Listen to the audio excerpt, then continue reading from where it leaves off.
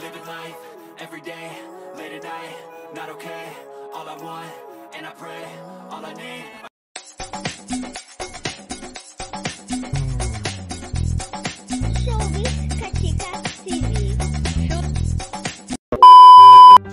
Kachika! Last two days nga ay sinelebrate nga ng Maclis na sila McCoy De Leon at Elise Johnson ang ika-second birthday ng kanilang unika iha na si Baby Feliz.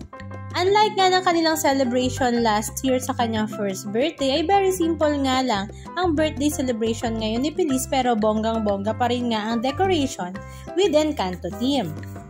Isinelebrate nga nila ito kasama ang kanilang malalapit na mga kapamilya at mga kaibigan. Samantala, after naman ng birthday celebration ni Feliz, ay lumipad naman ang mag-inang Elise Johnson at Feliz kasama ang mama nito papuntang Singapore. Ito nga ay para i-celebrate pa rin ang extended birthday celebration ni Baby Feliz at this time nga kasama ang kanyang lol. At marami nga sa mga netizens ang nakapansin at nagtatanong kay Elise bakit nga ba hindi join si McCoy sa kanilang biyaheng ito sa Singapore. Enjoy na enjoy naman si Feliz sa kanilang biyaheng ito sa Singapore lalong-lalo na nga nang nagpunta sila sa Universal Studios. Halika at panoorin natin. Okay, walk. Thank you.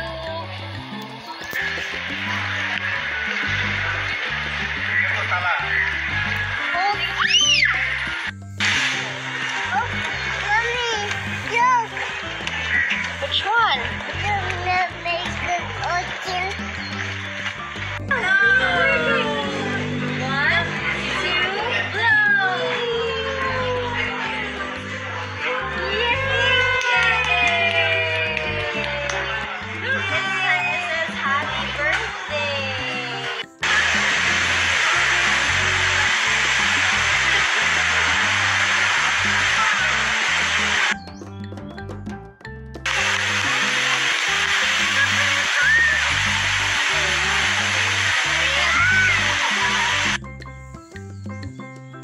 Again, again, again. Dalawa.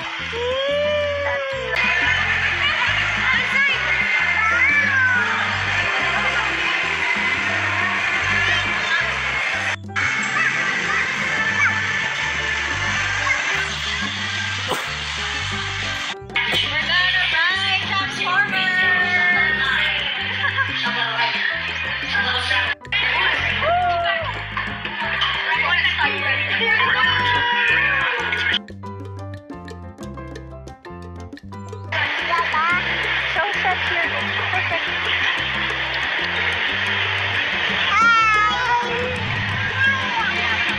Thank you.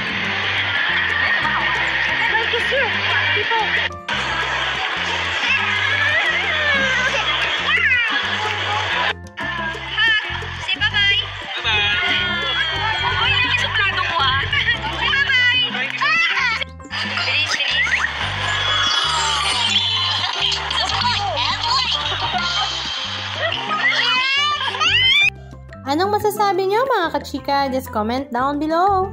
And please don't forget to subscribe. Thank you!